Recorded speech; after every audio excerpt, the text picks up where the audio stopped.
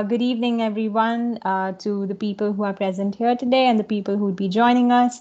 Uh, my name is Aakriti Tripathi. I am um, co-instructor and assisting Dr. Popovski, uh, who's a lead instructor in the course UN, uh, the Law and Practice of the United Nations. And uh, the Wednesday lecture series has been a very successful student-run initiative um, with the Jindal Society of International Law, courtesy Ankit, and a very dedicated group of students, and also Dr. Popovski, where we've had a wide variety of speakers uh, enlightening us and educating us on uh, burning issues of international law. And we were very lucky to have with us Professor John Dugard also, who uh, enlightened and you know threw light upon a very effective enforcement mechanism required under international law keeping a similar vein, we have today with us Professor Gentian, who will be talking about uh, the International Court of Justice and its role in uh, framing and formulating uh, human rights. And as a quick warm up, as I always say, I'd just like to put across a brief bio uh, of Professor Gentian before us for the audience uh, that he is a professor of international law and human rights at the Norwegian Center for Human Rights at the University of Oslo. And currently, he's heading the department. And uh, uh, Professor comes with a very uh, strong combination of academic work as well as practice of international law, which is very clearly proven because he was involved in a case before the ICJ. And he's also worked uh, for the defense at the International Criminal Tribunal for former Yugoslavia in two cases with multiple def- defendants. So that really shows the in depth exposure that Professor has had. And currently, he is a member of the UN Human Rights Committee from 2019 to 22. And during the last 17 years, Professor Zyberi has researched, published, taught on various areas of public international law and written extensively on the practice of the ICJ. Uh, Professor, it's an honor and a pleasure to have you with us today. And we're really looking forward to your lecture. The floor is yours. Yes, thank you very much, uh, Professor Tripathi, for your kind introduction, your kind words. Uh, it's a pleasure for me to be with you here uh, today. And I want to commend uh, Mr. Malhotra and the Jindal Society of International Law for the invitation and for their initiative in putting together this lecture series. And I am honored to be a part of this and to share with you some thoughts today. Uh, but before I start with sharing my uh, slides and what I want to talk uh, to you today, I just want to uh, express my sympathies to to you, to the people of India for the very difficult situation with the pandemic, and to express my hope and desire that this uh, difficult situation for, for many people will start improving soon, and that not as many will be affected. Uh, with those words, I want to uh, start sharing then my slides. Today I'll be speaking about the role and contribution of the International Court of Justice in developing international human rights law and this is, of course, a, a, very broad topic, and I will be speaking for about uh, 35, 40 minutes, and then we'll have a, a, a Q&A, we'll have a, dialogue. But I have structured this presentation by starting first with a brief introduction of the International Court of Justice. Uh, there are many international courts these days. It's not so difficult to um, also mix them because there are quite a few have been uh, based in The Hague. I will speak about the International Court of Justice institutional possibilities and limitations just to provide the context in which the court operates and the context of which it engages with international human rights law. And then I'll provide some examples on how the court has contributed to developing and interpreting international human rights law. And I use acronyms, of course, we're all used to that. I'll provide also towards the end a few recommendations as to how the court's work can be improved and some concluding remarks. So what is the International Court of Justice and what does it do? Well, the ICJ is one of the main organs of the United Nations, as you would know, and its principal judicial organ.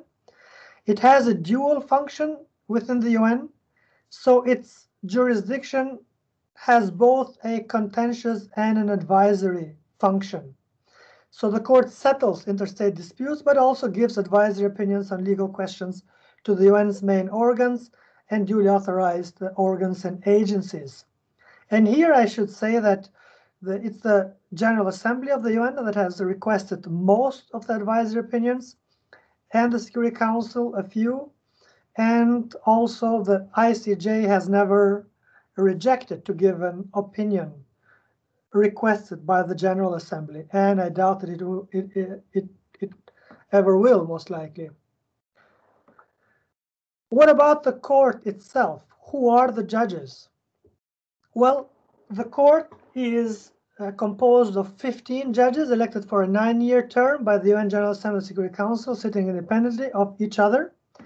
You will most likely know that Judge Bhandari of India is part of the court.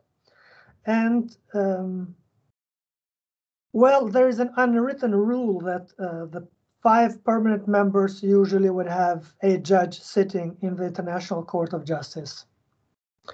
In terms of what law the court applies, you would know, of course, as students of international law, that uh, the sources of international law themselves are enumerated. It's not maybe an exhaustive list, but it is the authoritative list in Article 38 of the ICJ statute that the court applies treaties, customary international law, general principles of law, and then as subsidiary means judicial decisions and scholarly writing. There has been a lot of work on the part of the International Law Commission, which is the subsidiary body of the General Assembly, entrusted with the codification and progressive development of international law on a number of these issues, especially quite a bit of work now, more recently, in more recent times, concerning the sources of international law that might be quite interesting for you as students of, of international law, especially probably the work on the identification of customary international law and also the work on Jus Cogens norms. What are some of the possibilities and limitations of the court? Well, first of all, the court, uh, there's only states primarily that have access to its contentious jurisdiction. It's only states that have access actually, its contentious jurisdiction. And then in terms of advisory opinions, we have the UN main organs that can ask any question, any legal question that they want and the specialized agencies can ask questions within their sphere of activities. The advisory opinions are not binding, legally speaking, but of course, they come with the weight of um, the principal judicial organ of the UN. So that is, in a sense, an interpretive, interpretative, uh, authoritative interpretation of international law. There is probably a general perception of the court as a conservative judicial body, and that might uh, be something which we can also discuss later on. States are hesitant, generally speaking, to bring cases and to argue cases in pure human rights terms. And here we have to see that development of international law, of international adjudication, international courts and tribunals because over time, from 1946 47, it's been 75 years for the ICJ now. Uh, while the ICJ was one of the few courts that was there at the beginning, by now we have a lot of other international courts and tribunals, and also we have regional human, rights, human rights uh, courts and UN treaty bodies and so on. So the field of specialized bodies dealing with human rights has increased significantly.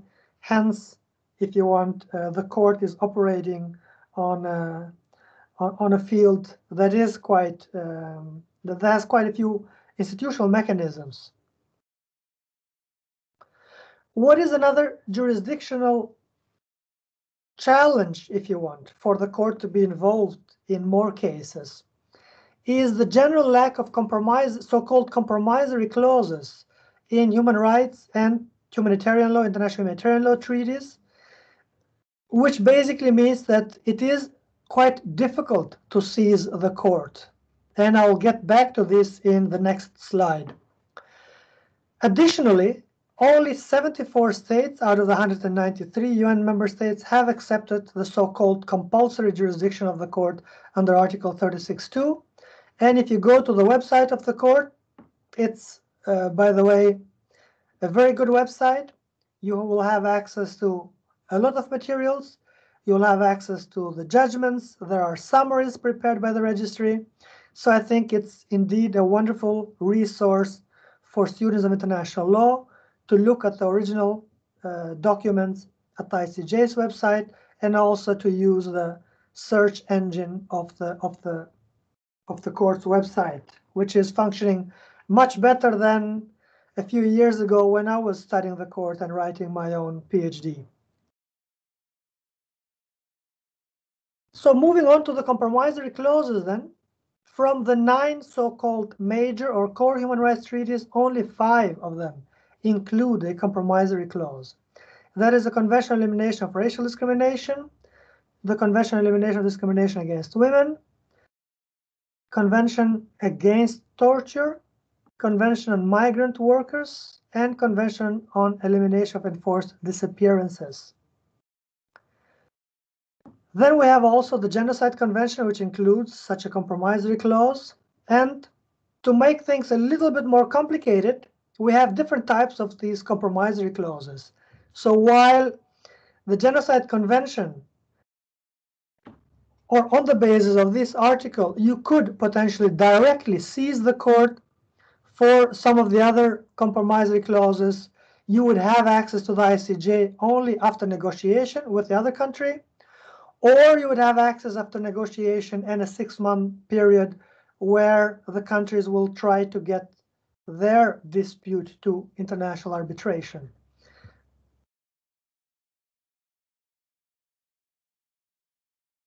Here I want to add another a few more words since I am at the compromissory clauses. So there have been a few cases that have been brought on the basis of these compromissory clauses. And I want to add here that because of the lack of these compromissory clauses in the two general international covenants on civil and political rights and on economic, social, and cultural rights, the cases brought before the court um, well, let's put it that way. While the core, the substance of the dispute is about serious human rights violations, it does not really fit under that particular convention, under that particular international treaty. So there have been some cases brought under the genocide convention, let's say, that, or at least one, where probably where had there been had there been compromissory clauses uh, under IHL treaties, that would have been a lot more appropriate because these were serious violations of human rights and humanitarian law, but maybe not amounting to necessarily to genocide. Same goes for the Convention on Elimination of Racial Discrimination. So there were serious human rights violations being committed in some of the cases brought before the court uh, under that treaty, but these violations do not really necessarily neatly fit under that particular convention. So that's just for you to keep in mind. It's almost like trying to uh, fit a camel through a needle's eye as one colleague has put it. Now, if I move on to the substantive part, how the ICJ has contributed to human rights. Well, let me let me start first with the cases. With instead of starting with the qualitative part, let me start with the quantitative part, if you want, right? Um, so, from the start of the work of the court, you have it here from 22nd of May 1947 to the 5th of March 2021. Then we have the data in the ICJ's website. We have 179 cases entered in the general list. And then from these, about 12 advisory opinions and 35 contentious cases, maybe slightly more. relate to human rights. Well, what does it tell us? It tells us that between one fourth to one third of the cases brought before the ICJ relate to human rights, which is, if you want, a considerable amount of cases. And if I go one step further, a lot of cases relate, or a lot of cases brought before the ICJ, although they might not have moved further, relate to diplomatic protection and to the protection of individuals. So they would have a human right component uh, involved. Then moving on to uh, in the in the chapter that I have circulated, I try to speak about the three stages that a case goes through uh, before before the court. I'm speaking here about contentious cases. That's the preliminary objections phase, the merits uh, phase, and the reparations phase. And of course, for advisory opinions, that's not uh, that, is not the case. And I have also spoken about um, looking at the court as an institution from different angles, from a procedural angle, from a substantive angle, and from an institutional angle. And I would like you to keep these different angles in mind, also in terms of thinking more generally, not only about the activity of the court, uh, but also about international law more generally. The court has addressed a number of cases which are related directly to human rights, some of them maybe somewhat implicitly, and has also shed light on important aspects of human rights. And I'm going to move on then to giving, or I will start first with cases which concern what I would term as community interests or issues of a general interest for the whole of the international community. And there are four types of issues that have been brought before the court that would enter into this kind of a category of community interest. The first revolves around the issue of reservations to human rights treaties or the scope of, of, of allowable reservations to human rights treaties. And that goes, of course, to the one of the very first advisory opinions by the Uh, ICJ on reservations to the Genocide Convention of 1951.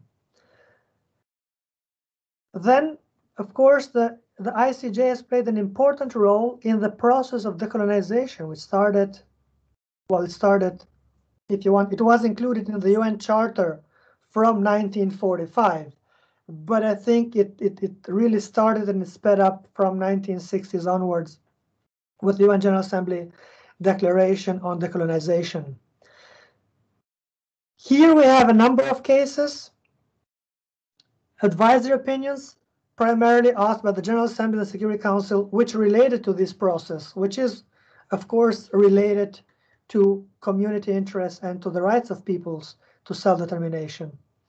Then there are two other types of cases that have been brought before the ICJ.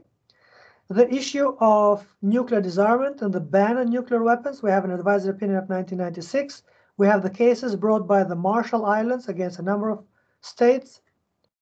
Um, and the last part here concerning community interests, broadly understood, is the obligation to prosecute or extradite to ensure accountability for serious human rights violations. And we have a number of cases, and I'm going to address you to them in a moment. In the chapter which is related to this seminar, I speak about the development of international human rights law and the contribution of the court to that as divided in three stages. In the first stage, the court is trying to, or is using mainly customary international law and general principles of international law because there's also not so many human rights treaties to start with. We have the first, the Convention on Elimination of Racial Discrimination in 1965, and then the two international covenants in 1966. So we have that period of standard setting, if you want. So in that first starting period from 1947 to, if you want, uh, 1970, the court is looking into customary international law and general principles of international law and drawing from them, and also internationalizing the protection of human rights by basically acknowledging the UN's important role in monitoring the human rights situation in different countries. So human rights violations were not to be seen then as just a domestic matter for states, but something that the UN organs, the UN General Assembly, others could look into. And this is written then in the interpretation of the peace treaties is an advisory opinion already from 1950 with two phases. The court starts by using and then giving some more substance to some general principles, fundamental principles of international human rights law that are very important. The first one is that of elementary considerations of humanity. And if you want, this would be interesting for students of international law because if you want these elementary considerations of humanity is something which is used also uh, in the Martens clause, the principles of humanity. And um, it is very important because it if you want, combines natural law and positive law. Or I would say that it lies at that particular intersection, if you want. But uh, that is probably a little bit my, my own uh, take on that.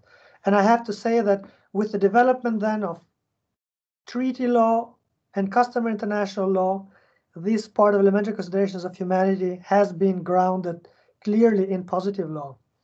Then we have, so this is something which the court starts in the Corfu Channel case, and then it uses in the Nicaragua cases, uh, the case on the merits in 1986, quite a few decades later.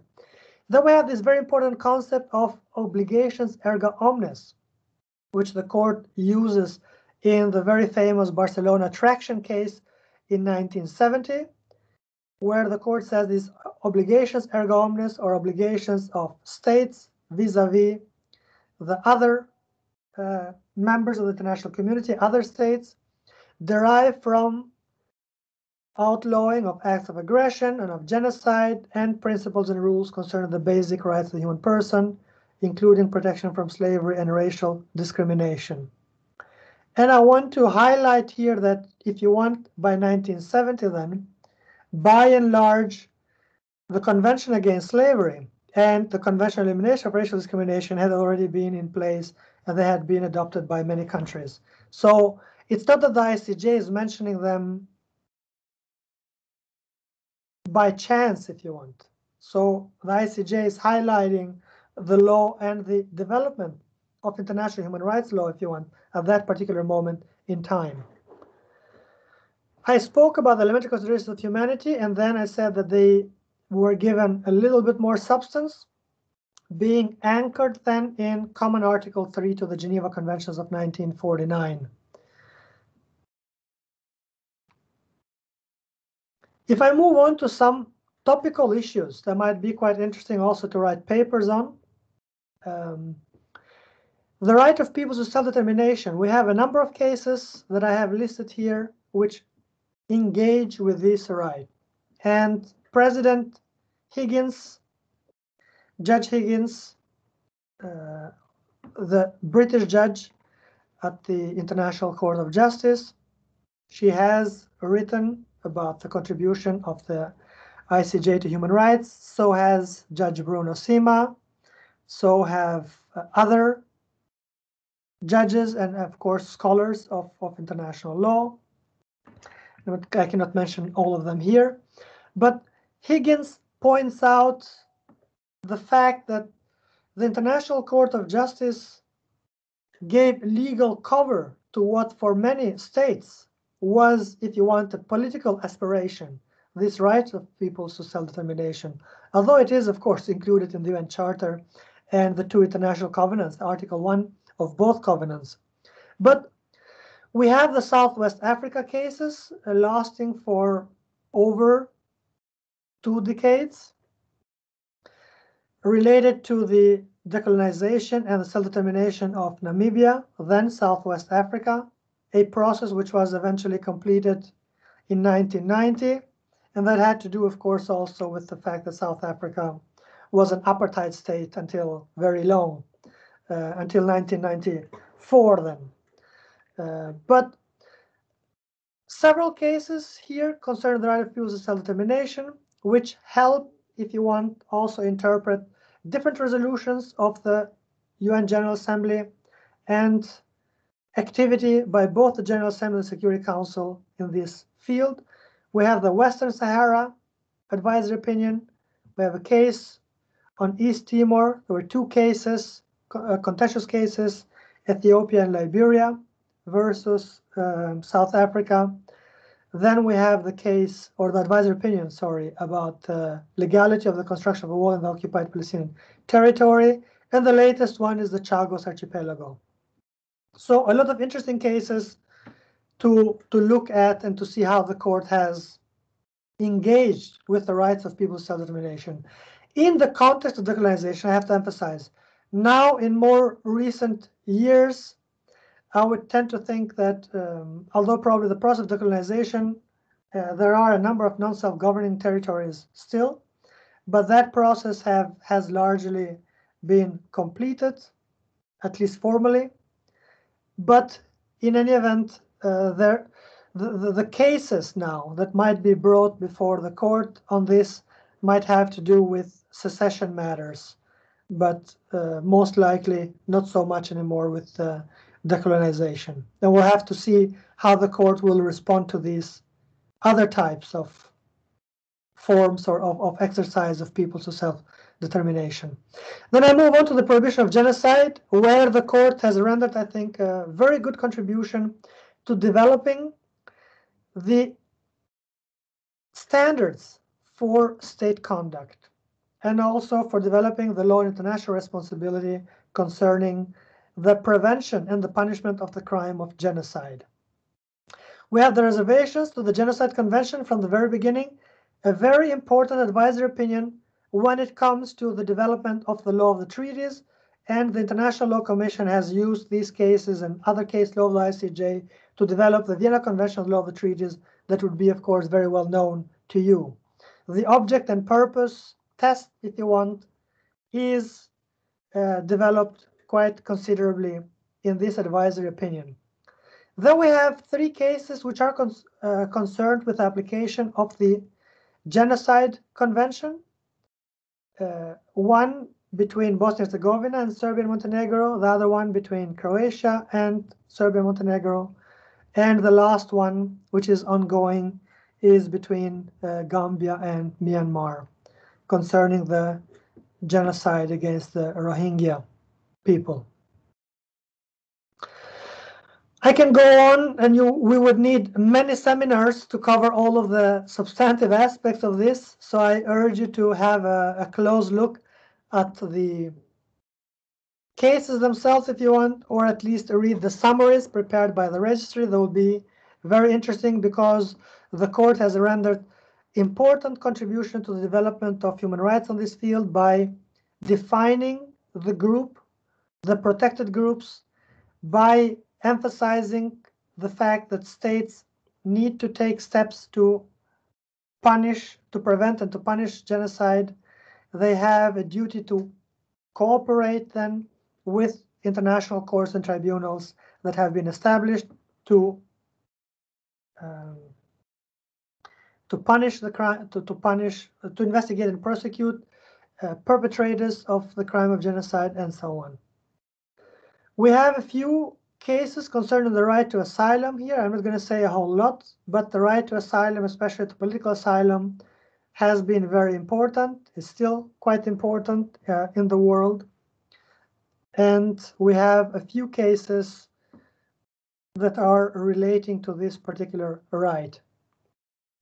We have a lot of cases which concern diplomatic and consular protection, starting from the Nottebohm case in 1955 moving on to the Tehran hostages case. And the most recent case is the Diallo case, decided in 2012. And I'm going to say a little bit more maybe about the Diallo case and some other cases when it comes to the issue of reparations for human rights violations, because they are very important cases. There is a group of what I refer to as consular relation disputes from Breard, LaGrand, Avena, and other Mexican nationals, and the Jadhav case, which will be, of course, quite uh, well known to you because the last case uh, involves a case between India and Pakistan. But what is important here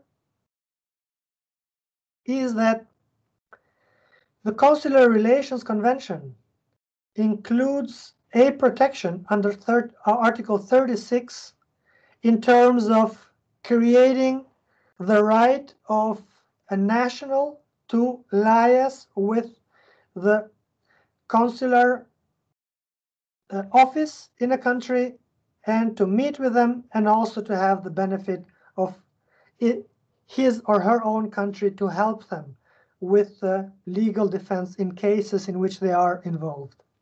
And I also have to add here that a lot of these cases, previous cases from Breard, LaGrand, Avena, and other Mexican nationals which are concerned with the US, these are death row cases where states were involved because their nationals were sitting on death row and waiting to be executed.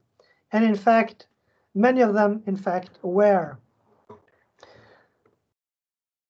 About the Jadhav case, I think uh, you have most likely read the, the, the decision in quite some detail. We can discuss that later. An important contribution of the court, an institutional contribution, is the care shown by the court to protect human rights rapporteurs, human rights experts that are involved in human rights work from interference by their own states or other states in their work, in fulfilling their mandate. And we have these two advisory opinions. I refer to by the names of the human rights rapporteurs, human rights experts involved, the Mazilu and the Coomaraswamy cases, uh, two advisory opinions of 1989 and 1999. I think very important because there the court explains the immunity that attaches to these UN human rights rapporteurs while they are on duty. I think this is still very important um, institutionally for ensuring that these human rights rapporteurs can carry out their work unhindered. There are two important issues which relate, or if you want, are related to the relationship between human rights and two other important fields, international humanitarian law and international criminal law. And here we're speaking first about the relationship between human rights and humanitarian law, in armed conflict situations, but also in other situations. And here the court has basically, well, I think it has uh, by and large stated what might have been obvious, but also stating the obvious sometimes it's very important, especially when that comes from the court, because that will uh, ensure that there are no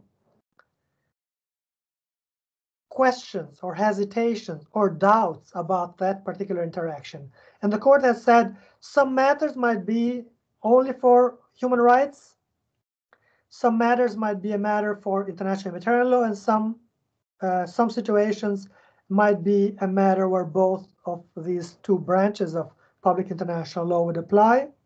And in fact, this third scenario is the most uh, more recurring scenario, if you want and the court has said that much in a number of uh, cases. We have the two advisory opinions of 1996 and 2004.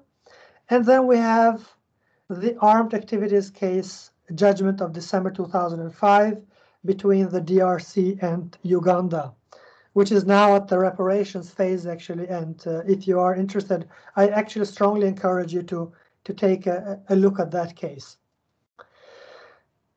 When it comes to individual criminal responsibility for internationally recognized crimes and uh, pursuing accountability for serious violations, we have a number of cases that are relevant here, and I have included them. And here is not only the relationship between, if you want, human rights, international criminal law, but also the law on immunities becomes also very, very important.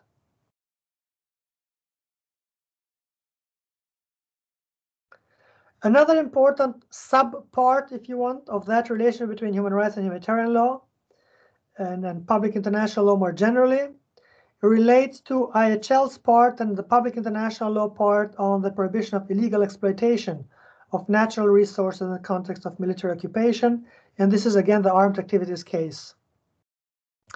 And the court has also provided some guidance on principles of delivering humanitarian assistance, especially in the in the Nicaragua case between Nicaragua and the US in the merits part in 1986.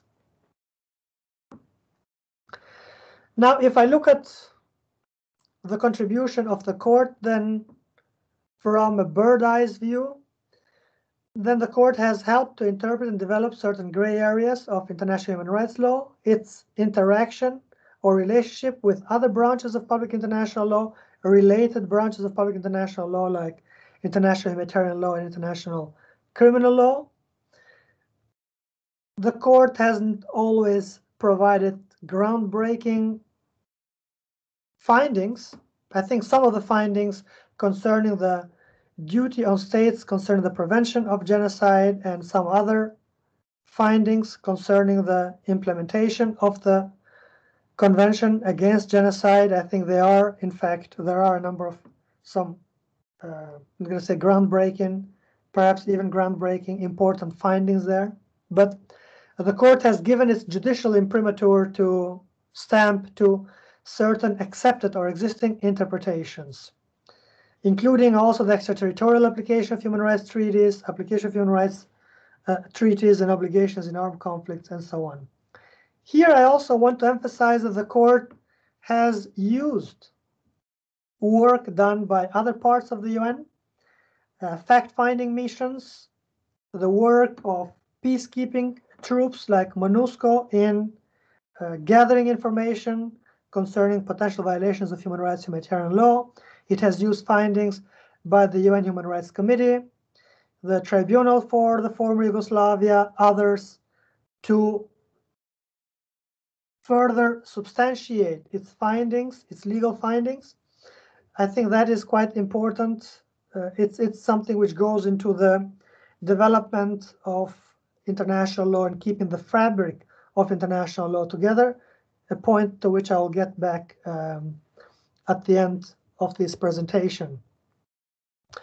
What the court has done more generally then, I haven't spoken a lot about provisional measures orders, which are very important, especially in an armed conflict. But during these incidental proceedings, the court has urged state or has ordered states, if you want, to ensure compliance with human rights and humanitarian law obligations, to refrain from recognizing or assisting in maintaining a legal situation, not to aggravate the dispute. So that is also important an important contribution to national peace and security, and also to provide reparations for violations of international law. Here, I just want to add two more words concerning the issue of reparations uh, that I have developed in the chapter. I cannot develop them a lot, but I just need to add that in the Corfu Channel case, in the advisory opinion on the wall built in the occupied Palestinian territory, the Diallo case, and now more recently in the armed activities case, in the ongoing proceedings to determine reparations in the case between the DRC and Uganda, the court renders an important contribution to clarifying these principles of reparations for violations of international law. And what is very important here is that the court also keeps an eye on the fact that reparations for these violations should also go to the individuals affected. So it's not only for the states. So this is something to train the attention of the states in terms of what these reparations are about also to a large extent. Then, of course, the institutional features of the ICJ uh, has have helped in setting up other international judicial bodies. Why? Because of the composition of the court, because of its rules of procedure, because of that institutional experience has been used in setting up other judicial bodies. We can speak about uh, both a domestic and international impact of the ICJ's case law.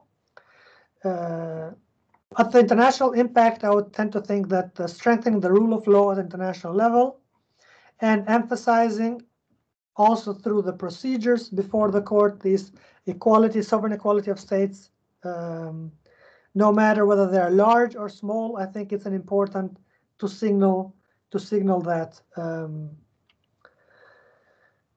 a few recommendations and some concluding remarks because I see the time time uh, runs really fast.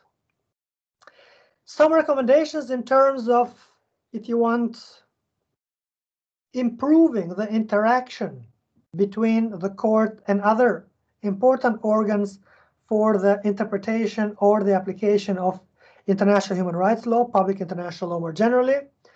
Uh, more attention might need to be given to the relationship between the ICJ and other tribunals.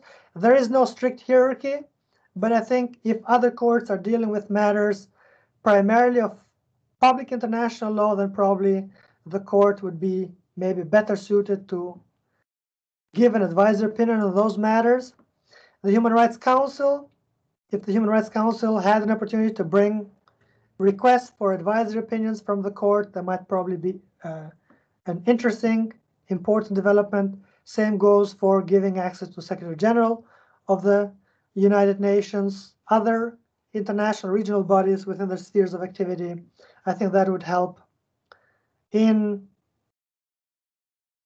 well, in reducing the risk, if you want, of fragmentation of international law and contradictory interpretations. Of course, that would mean that the court would have a lot more work, and it's, of course, not so easy than for the court, maybe if there were too many cases suddenly brought before the court. Another idea that I have aired um, is creating a human rights and humanitarian issues chamber at the ICJ that can deal with these issues more speedily. Some of the cases brought before the ICJ have been pending before they have been finally resolved for 15 years or more. And that has to do, of course, with the procedures before the court and so on. And they are not due to the court necessarily, but to the states taking their time to submit their, their submissions, written and so on. Or to use the chamber of summary procedure for some of these cases, because we cannot have the serious violations of human rights and humanitarian law can go on for a long period of time without necessarily being addressed. So in a sense, um, making international justice a little bit more effective, a little bit more speedy would be, I think, quite important. Adding a compromissory clause to human rights treaties that do not have one. I mean, some of these recommendations, I understand that they are quite uh, ambitious and probably they might be in the realm of the impossible, but I think it's important to think the thought first. And the UN General Assembly would have to continue to encourage states to accept the compulsory jurisdiction of the court. I mean, we have about one third of the states that have accepted the compulsory jurisdiction. I said 74 out of 193, and it's important to increase that number. Then the gender balance. I haven't said much about it, but it is extremely important. We have 15 judges at the ICJ. Right now, I think we have only three female judges this is something which um, we have to address and we have to address. I mean, the time for addressing this was yesterday or many days before. So states will need to pay close attention to this. And then we have some positive examples from the UK, US, China, and Uganda. I hope other countries will follow suit. And some concluding remarks. Judge Simma has pointed out that by keeping the fabric of international law together, the ICJ helps ensure a better interaction between human rights and other branches of international law, and also streamlines and mainstreams uh, human rights into public in, into the broader corpus of public international law. Very important. I think an important conclusion here is the ICJ has been able to vet, if you want, the uh, international law, which is made primarily by states and then for states, uh, although uh, we have developed quite a bit on that in that regard as well. But to, to vet that with demands for the promotion and respect for individual human rights and uh, human life and dignity. And some of these consular relations cases and diplomatic protection cases, I think they are a testament to that. And also the ICJ, while it serves states and uh, international organizations, has not lost sight of the fact that individuals are the final recipients of uh, the, the, the, rights accruing to them under public international law. I will share the slides. I have uh, included at the end some of my own work on the ICJ. I've been studying the ICJ since 2003, so that is probably about uh, 17, 18 years. So I've written my monograph, my PhD on that, and then a number of articles and, and book chapters and some of the most recent ones relate to indeed the, the chapter that I have as part of this seminar is on this particular point and uh, also the the um,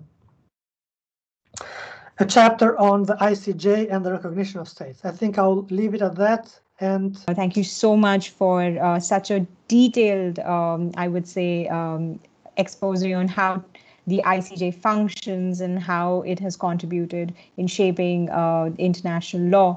Uh, we'd be very, very excited for you to uh, join us on our campus, especially when things are better. Um, your new joinees like Aparna and I, we're yet to see the campus, and I think that'll be a wonderful opportunity to meet you in person and hold a session. So um, thank you once again to Ankit, uh, and thank you once again to you for taking our time today. It's been wonderful hosting you today. Thanks a lot for your kind words, uh, Professor Tripathi. And uh, again, my most sincere thanks also to Mr. Malhotra and uh, Professor Popovski and the Jindal Society of International Law for, for the kind invitation. It's been a pleasure to, to be with you. So thanks a lot again. Thank you, Professor. Thank you so much, sir. Grateful.